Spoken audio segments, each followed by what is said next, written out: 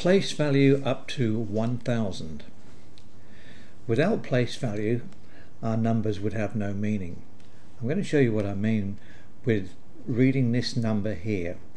So if I read this number without place value, it would be like this, 2453. With place value, it would be like this, 2453. So there's a big difference between 2453 and 2453. That's because of place value. Place value gives our numbers meaning.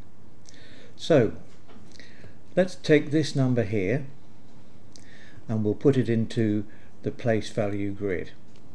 So because we read it like this, 2453, that's why I put it in in that order. So we read numbers the same as we read words.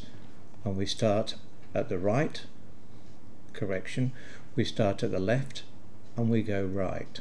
So we start at the left and we go right. Same as we do our reading. Look up here, place value up to 1000, left to right.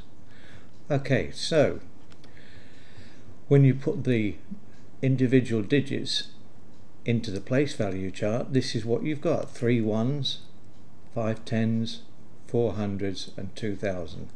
And notice when you look up at the top, it starts with ones, then you add a zero, means tens. You add another zero for hundreds. You add another zero for thousands. So this tells us that our whole number system is based on going up in sets of 10. So 10 ones, we move up to tens. 10 tens, we move up to hundreds. 10 hundreds, we move up to thousands. And that's how it works.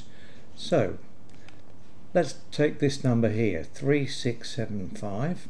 So, it means 3,675. Three thousands, six hundreds, seven tens, five ones. Here's another one. 1786 and that's how it works. So whenever we read we start on the left of the number and we read towards the right. If it was a number like this 86 we'd start again. 86 second number along goes in the second place. 86 if we go like this 6 we read it as 6 so that means that it's still in the first place value. So over we go. And put it in here.